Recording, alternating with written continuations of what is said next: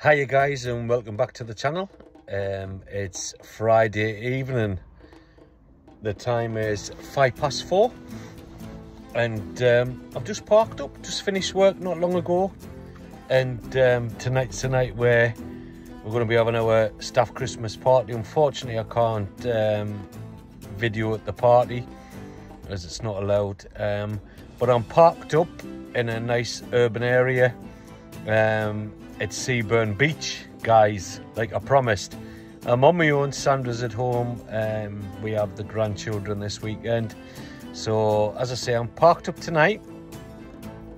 And in the morning, um, we'll be doing a, a um, bit of a walk around Seaburn and Moroka. So, stay tuned, guys.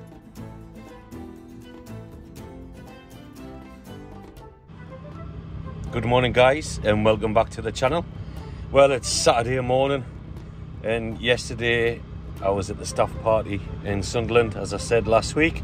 So today guys my plan was or still is to do a vlog on some of the landmarks um, in Sunderland. Um, I'm currently in Seaburn and it's absolutely oiling it down with rain um, I don't know if you can see over the distance, you can see the rain. In the far corner, you can see the um, famous Sunderland Pier. So my plan was to, to do a bit of a, a walk around Seaburn this morning, but obviously the weather's a little bit um, windy and damp, and I'm a, quite concerned you're not be able to hear me. So what we're going to do, guys, I'm just warming my feet up um, I've been asleep in the van all night, uh, just cleaned all the windows. And what we're going to be doing uh, very shortly is at the minute, I'm just finishing off my breakfast and my cup of coffee. And um, we're going to be going around doing some um, well-known landmarks in Sunderland.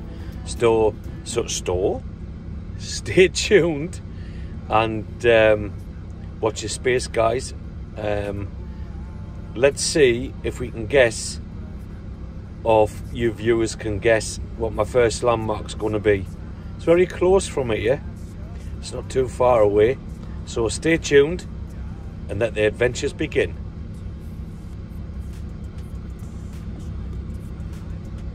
See you in a bit.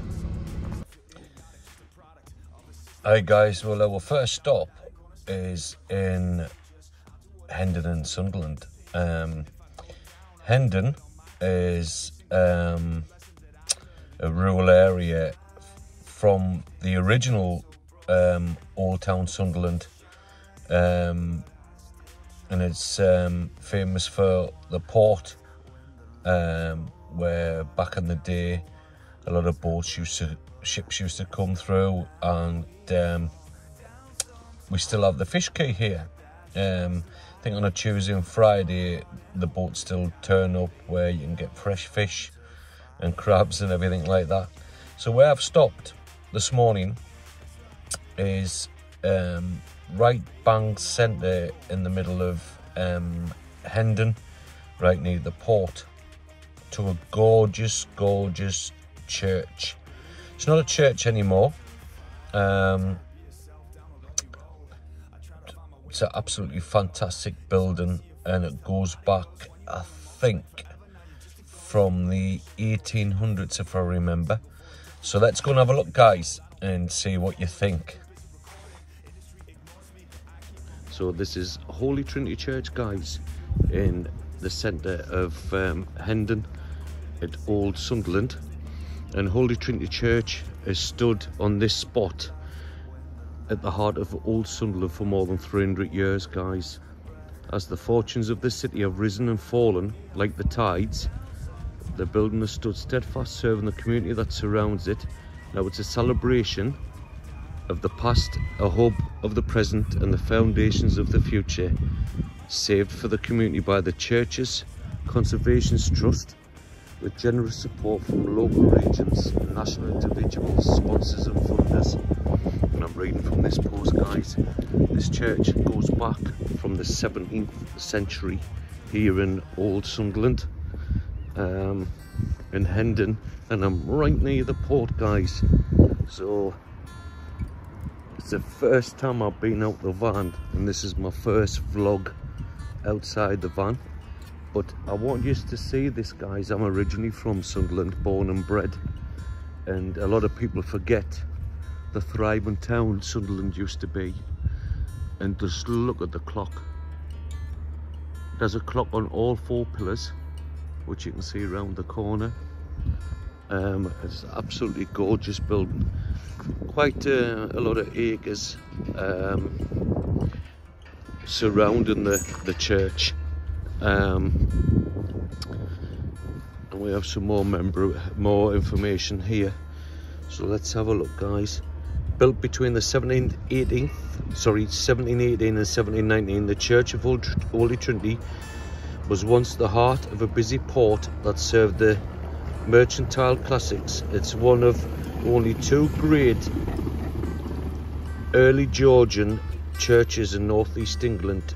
It housed the first public library of sunderland first civic rooms and at one point even the fire engine However, by the mid-19th century, the focus of civic activity had moved west and by the 20th century, town planning had effectively cut Holy Trinity off from the civic centre.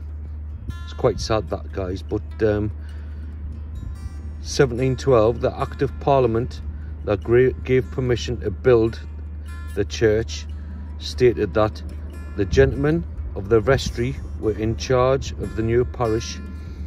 These, I've got my glasses on here, let me have a look here. Um, guys, uh, there's a lot of information on here, as you can see. That's what the church looked like back in the day. Um, you can see people um, having meetings and everything. Um, and the old heritage hall obviously that's inside the um, the building itself. I'm not going to film in there because um, it's not allowed um, but this is Holy Trinity Church in Sunderland. And look at the land guys. Absolutely beautiful. So what we're going to do we're going to head off um, and see if we can go down to the port and have a look and here we are at the port of Sunderland. You know, it's very sad. Um, it's not sad, but from 1346, boats were built on the River Wear. And just along there to your left, guys, you can see Sunderland Fish Quay. Hundreds of boats would come along here, right along the River Wear, come through the port, and um, they would dock at the Fish Quay where people would line up. Still today they do that. Not as much as they did back in the 70s and 80s, guys, but um, a thriving place. We're well known here for coal, so hundreds of boats, as I said, from 1346 will come along here and um, they would collect the coal and distribute to other countries uh, and other places around the world. There's none of that here now, thanks to um, Margaret Thatcher and um, uh, local government. All we can see now is um, St Peter's Wharf in the far corner there if you can see the temple. Uh, sorry not the, the, the spire right in the far corner. That's um, St Peter's Wharf. Um, what was one of the original, um, if not the original church built here in the north side of um, Sunderland. And it's a thriving business place now. We have the Glass Centre over in the far corner. Um, you can actually stand on the roof there. It's out of bounds at the moment because there's an issue. There's, they're doing some works on there. But um, we have in the distance Wearmouth Bridge and the I can focus in there well guy. The arched bridge um, on the other side that's the uh, the local um, train line. What goes from um, the city centre north and uh, southbound into Newcastle and um, as far down as uh, Middlesbrough as far as I'm aware. Um, we'll have a we'll have a little walk along and I'll show you the um, the fish quay um, I don't know if we uh, if it's open today if we're able to get any fish. Not that Sandra likes fish. She'll she'll probably go mad if I take fish home. But um, as I say guys we're gonna have a look at the fish quay and see if um, if it's open today. Many um, workmen um, working on the fish quays build these crab nets by hand. Um, and it, it's a skill in itself um, as I say, none of these buildings, these flats, I think these built in the early two, uh, I think was 20, is it 2015 or 2012? I could be wrong. Um, but the famous um, fish quay is uh, not far away, guys.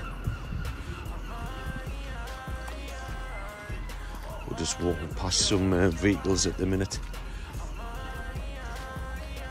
And heading up towards the fish quay.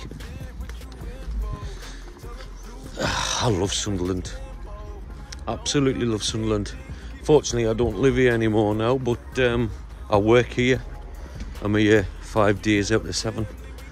And um, I just love what um, Sunderland City Council have done over the last 20 30 years. There we are guys. Sunderland Fish Quay let's have a walk along. No it doesn't look as if it's open for business today. The gates are open but probably to be just staff working. Um, I haven't seen many um, boats docked uh, with fish this morning. Saying that it's quite it's still early. It's 25 to 11 um, so this afternoon we might um, be able to have some fish. But um, the building's quite long. It goes all the way for at least a quarter of a mile. Um, I'm trying to get used to talking in the camera. It's when people are walking past. I mean, I'm not embarrassed. I'm not an embarrassed person, but uh, people tend to, tend to look at you, what the hell's that not a doing? Um, I saw he's a fish quay.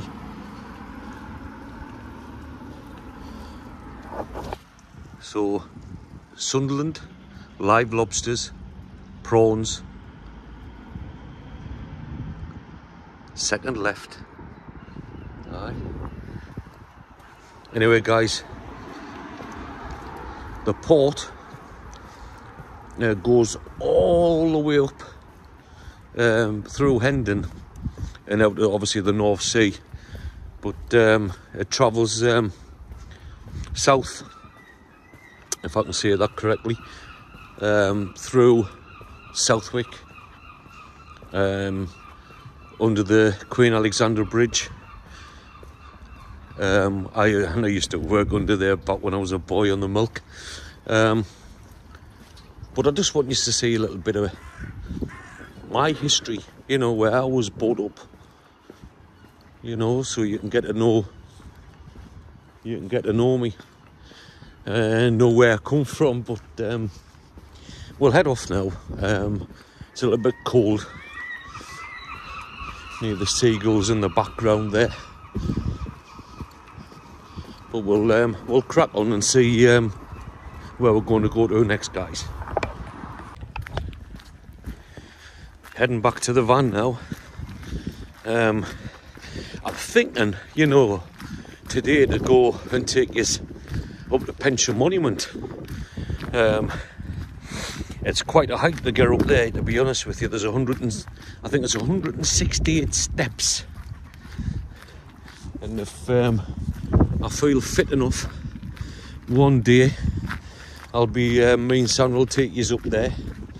And um, once you get the top, you've got some fantastic views on a clear day. But um, see a big ship there docked, and we're we're heading back to Stella, uh, where it'll be nice and warm.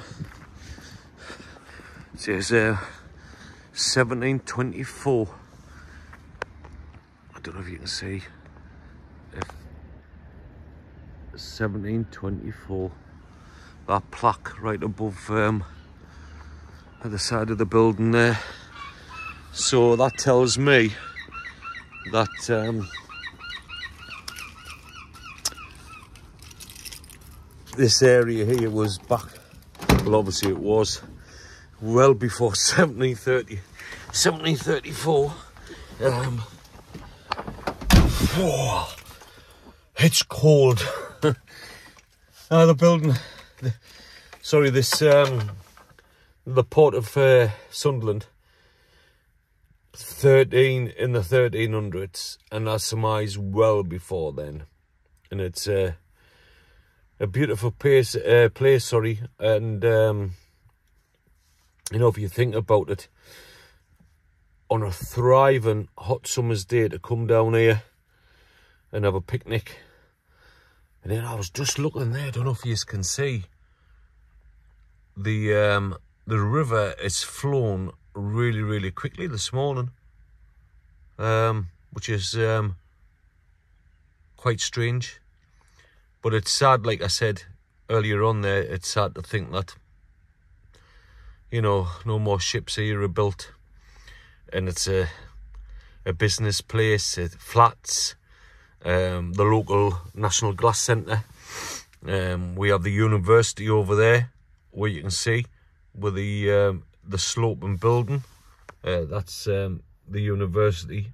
Um, and if I remember rightly, that used to be, uh, just turn the camera around, that used to be um, up on Chester Road in Sunderland. I think part of the university, I think this part is a section of the university, uh, a state-of-the-art building. Um, but we'll, we'll crack on. Sorry about keep turning the camera around, guys, but we're using the iPhone. And as you know, on the iPhone, you can't turn the, the camera around um, uh, physically, uh, I should say manually, you've got to obviously turn the camera around by hand. But let's crack on and see how we get on. Hey guys, well it's um, just gone up past 12. It's time for a cup of coffee and um, I was going to go to McDonald's but I'm watching me, um, me old figure at the minute. So um, got some lost the pot noodles. So we're going to have a couple of packets of them. And um, let's just make sure we get this camera right for you. Gonna have a couple of pots of them and um, relax for an hour or so. Um, so what I've done is I've boiled the kettle. Well, boiling the kettle I should say. I'm going to make a cup of coffee first. And out of the water from the kettle when I finished me um, boiling, putting water in my coffee. I want to use the rest of the water to put in the pan and to make some um, noodles come. I'm a little bit hungry. Bear with us guys. I'm just going to get my cup. There we go, nice cup of coffee. Um, quite hungry actually. We had a cracking night out last night uh, with everyone from work. Had a lovely Christmas um, just get the spoon by the way. Had a lovely Christmas um, dinner and um, I think I had around about a few pints. Wasn't that many I was mindful that um, I, I had lots to do this morning. So, um, but no, it was nice to get out. Um, next weekend, I have uh, I'm actually off Saturday and Sunday So Sandra wants to go away in the van. So hopefully we'll be doing some uh, some adventures. And um, if you like, guys, you'll be able to join in and come along. Why don't you? I actually got two beers, John Smith's in the fridge, but um, I didn't happen to use them last night, so they'll go back in the house. We're gonna have a use the old tea. Um,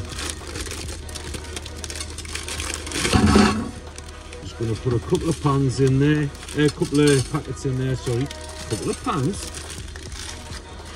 Um, I'm actually parked up in Farringdon at the moment, right near the old police station um, in McDonald's, and I thought, oh, I'll, I'll pop in and I'll grab a McDonald's. But then I decided, look, just park. I've got noodles in the van, save the seven or eight pound, and um, we'll um, we'll be able to save a bit of money in it. You know what I mean? so what I'm going to do is I'm going to wait until um, my coffee's done and these noodles, I'll use the water out them, uh, out the kettle. A lot of people put the, the sort of powdery curry powder in with the, the noodles. I don't. I'll wait this just about done. Yeah, just about done, sorry. Put these in, mix it round, give it a couple of minutes, and Bob's your uncle. So while we're waiting for the the um, kettle to boil, um, I've got, thanks to you guys, I've got nine subscribers to our channel now. And I think that's absolutely fantastic. I keep looking over to the left then I realise my camera lens is to the right, apologise.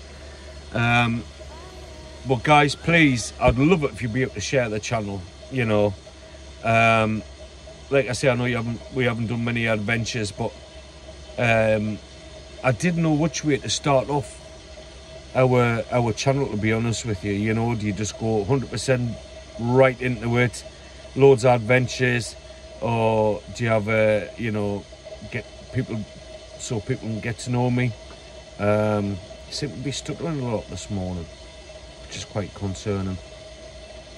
Um, but I'm in Stella, as you know, she's a cracking van and uh, she never lets me down. It's due for an MOT next month in January where I'll need the handbrake adjusted and I'm going to put some new brake pipes on.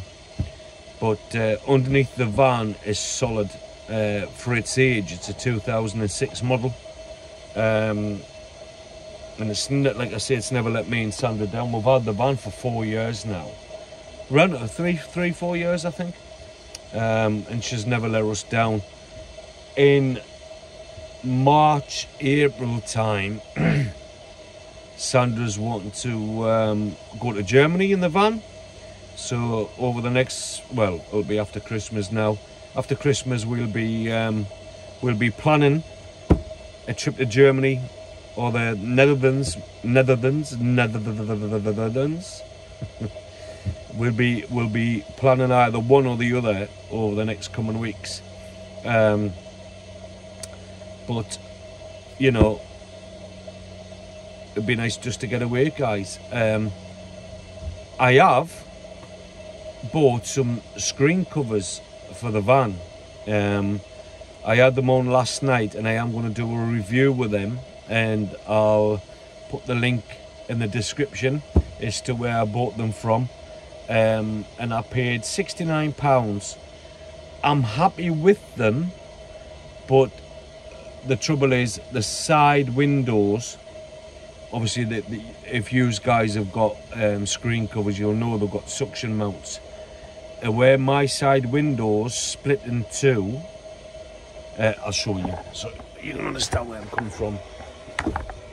Where the window splits in two there the suction mount one of them touches the bar here and the word described is VWLT 35 screen covers but apart from that you know, and adjust them a little bit. Apart from that, they work fine.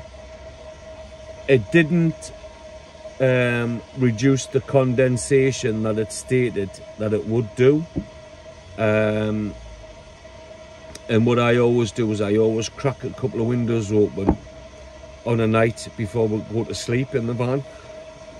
One, so there's a bit of ventilation coming through the van, and two, to reduce the um, condensation.